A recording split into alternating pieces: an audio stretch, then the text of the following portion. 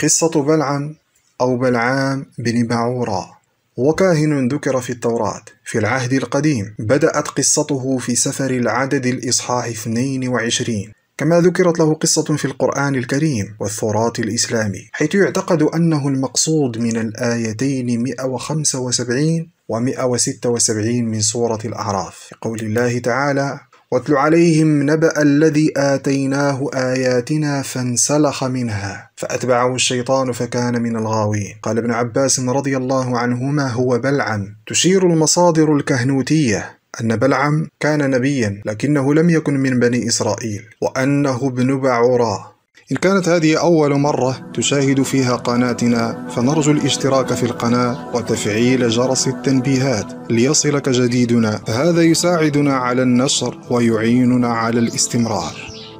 أمر بالاق بن صفور ملك مؤاب بلعم أن يلعن شعب نبي الله موسى ويدعو عليهم. لكن بلعم رفض وأغراه الملك بالمال لكنه رفض أيضا. فأخذه بالاق إلى الجبل المشرف على البرية ليدعو على بني إسرائيل لكن بلعم نطق بلعن شعب مؤاب ومباركة بني إسرائيل وحاول بالاق ثلاث مرات. كل مرة يأخذ بلعم إلى جبل آخر ويبني له سبعة مذابح ويضحي بسبعة ثيران وسبعة أكباش. لكي يلعن بني إسرائيل لكن ينتهي به المطاف إلى مباركتهم وليس لعنهم. وقتل بلعم على يد بني إسرائيل في معركة انتقامية ضد الميدانيين في النهاية. قصة بلعم بن باعورة في القرآن الكريم.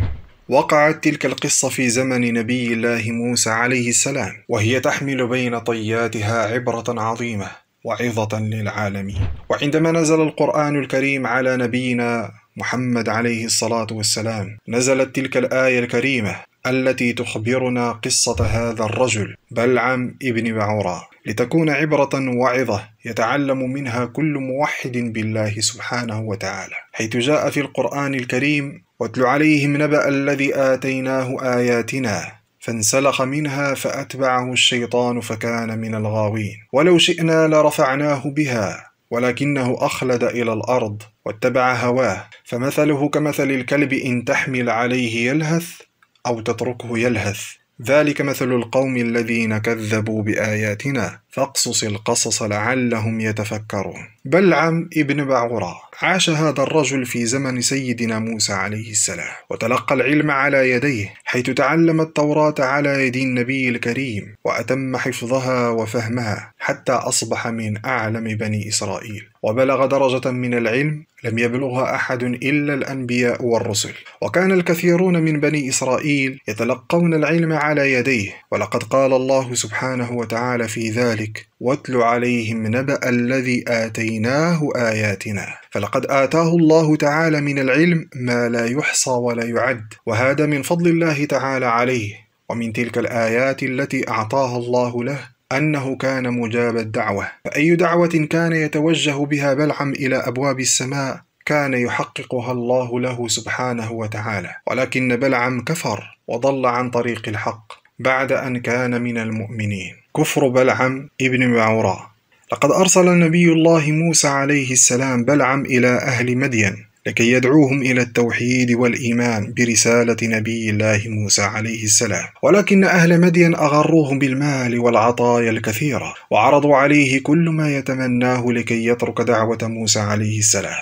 وعرض عليه ملك مدين أن يتزوج بأجمل بنات مدين. ويعيش بينهم غنيا وسيدا عليهم في مقابل أن يترك دين موسى عليه السلام وينضم إليه. فطلب منهم أن يعطوه مهلة كي يفكر فيما عرضوه عليه. ثم أخذ حماره وسار بها لكي يتخذ قراره. ولكن الشيطان هو هواه أرشده إلى ترك الحق واتباع الهوى. فلقد اختار الدنيا الفانية وفضلها عن الآخرة الباقية وعماه حبه للمال والجاه عن حب الله تعالى. ولما أخذ حماره عائدا لهم ليقيم معهم ويترك الحق نفر منه حماره وسجد لله سبحانه وتعالى. وهكذا كفر بلعم العابد العالم بعد أن كان من المؤمنين. وعندما قرر سيدنا موسى أن يسير بقومه إلى تلك الأرض ليدعوهم إلى دين الحق نزل قريبا منهم فلما علم الكنعانيون بالأمر هرعوا إلى بلعم يستنجدوه به ويقولون له لقد جاء موسى بن عمران ليخرجنا من أرضنا ويقتلنا ونحن قومك. فقال لهم بلعم وماذا أفعل؟ فقال له أنت رجل مجاب الدعوة فادع على موسى عليه السلام وقومه. فقال لهم بلعم ويحكم إن هذا نبي الله وهؤلاء قومه كيف أدعو عليهم؟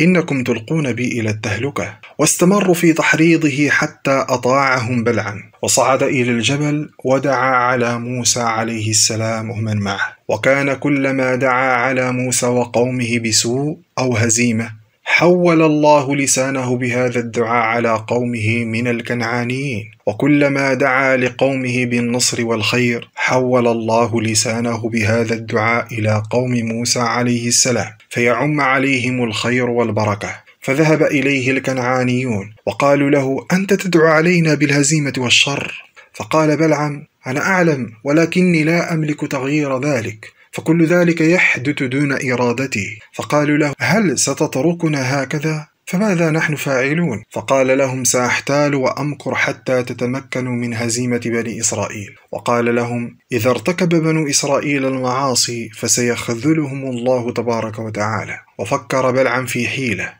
وهي أن يجملوا نساءهم بأنواع الزينة والتبرج والسفور وأن يعطوهم السلع ليذهبوا بها إلى بني إسرائيل. ولا تمتنع أي منهن عن أي رجل من بني إسرائيل إن أرادها. وطلب منهم أن تترك زوجاتهم رجال بني إسرائيل يزنون بهن وبهذا يصبح من العاصين. وبالفعل هذا ما حدث. فأرسل الله سبحانه وتعالى الطاعون ببني إسرائيل. وكان هناك رجل يدعى صحاح بن عيراد كان غائبا عن المدينة. وعندما حضر أخذ حربته ودخل على من يزني ثم قتله. وخرج به من قبة البيت رافعا يديه إلى السماء. وهو يقول اللهم هكذا نفعل بمن يعصيك. فعفى الله عنهم ورفع عنهم الطاعون. وقد بلغ عدد الهالكين منهم سبعون ألف.